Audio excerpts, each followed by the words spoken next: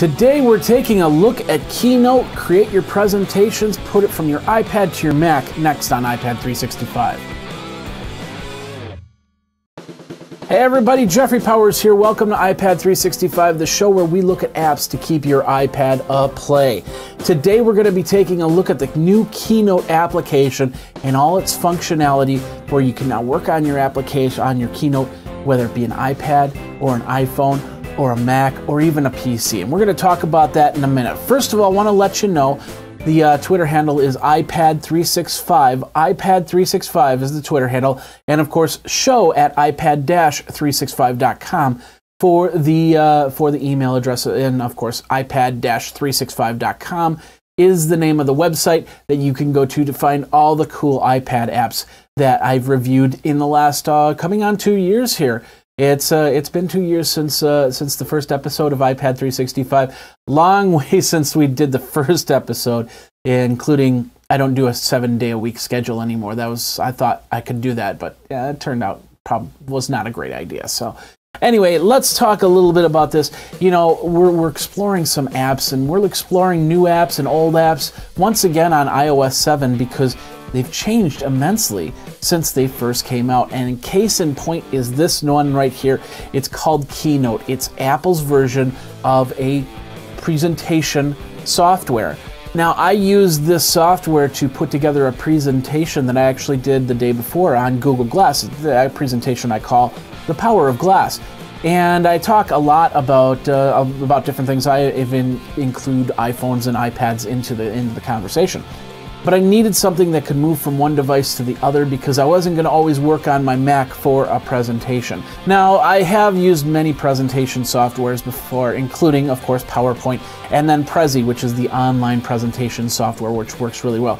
But I wanted to try Keynote out and I wanted to see what the new functionalities are for this software. Now, the coolest thing is the fact I can go onto my iPad and do the editing, put it up into iCloud, and then, of course, go over to my Mac as you can see, this is what I see on my iPad right now. But if I end out of Reflector here and flip over to the Keynote on the Mac, there's the actual presentation that I put onto my Mac, which ended up being the presentation device. So there's also the ability to actually use the PowerPoint through iCloud. You go to your iCloud account, you uh, select your PowerPoint presentation, and you could actually download it. Now, the only setback to that is it needs to be 100 megabytes or smaller in a presentation.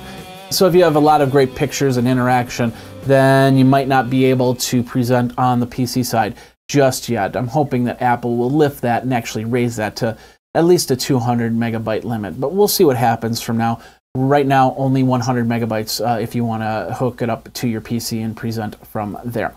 So here it is. I, I did the Power Glass. I, I did some templates. We'll just create a new one. So we'll go over to Presentations, and then we'll say Create a Presentation. We can choose from many different templates. I'm gonna. I'm just gonna do a regular black presentation here, where you you see the frames. You can uh, you tap and you can type in there. Oops, double tap to edit. That's what it says, and you can type in there. Hey you like that and you can double tap there uh, get off of my cloud and there you have your first presentation. A little uh, plus button on the bottom. You can add different types of slides, uh, whether you want it's fully blank slide, or if you want all text, or if you just want a title slide, or if you want a picture slide, like this picture right there. And we can say, this guy is happy. He just bought this land. Something silly, you know. There's a little successory for you right there. I, I, don't know, whatever you want to do. You can actually add stuff. You can also add different things. You can uh, select an object and tap the button to format it. So I can uh, I can do that, and I can say I want this formatted to have a picture frame, uh, regular frame, or whatnot. I want to take the image and I want to do some alpha to it. Um, don't like the way it looks. Let's just uh, let's just make it all red or so that's different options you can do there. You can also do some uh, arrangement, move the front to back, back to, that's all for layers, uh, moving from front to back. You've got some tools to do some transitions and builds. So we'll add some transition. This one we'll build in and we'll just say anvil right here. So when we go to pre present it here, it will, uh, it'll show just like that. Boom, Anvil. it's kind of nice. Or you can blur it in or whatnot. We can hit play, and you can actually see it blur in to the uh, to the presentation. Um, uh, instant instant gratification right there to see what it's going to do, and, uh, and and choose the one that you want to see happen. So we'll just undo that for now, and we'll say done.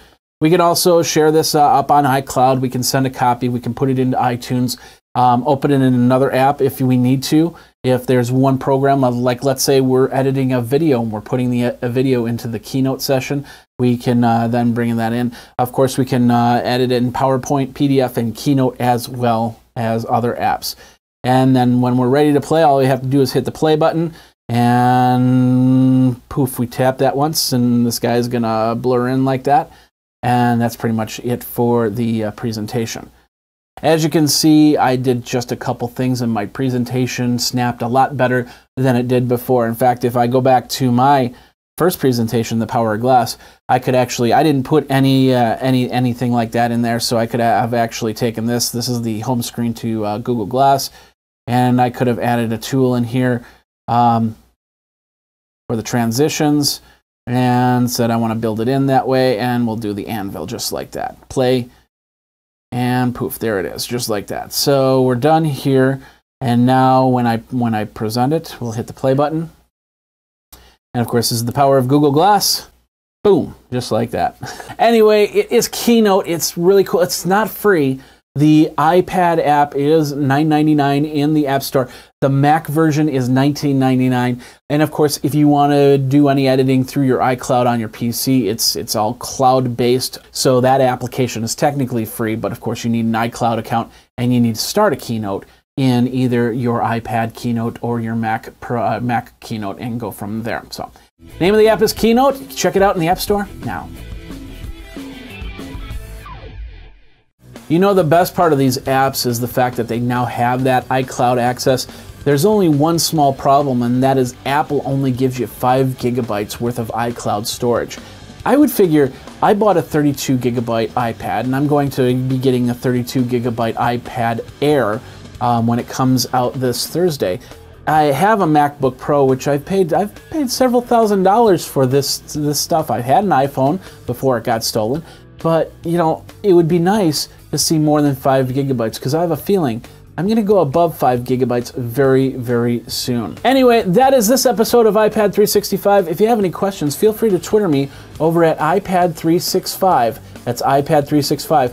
Of course, the email is show at ipad-365.com if you'd like to suggest an app or you have something that you want me to show off on the show. My name is Jeffrey Powers. Thanks a lot for watching and listening over on Stitcher or iTunes because you can always get the audio version and the video version as well. We'll see you next time, and until then, you guys geek out and take care.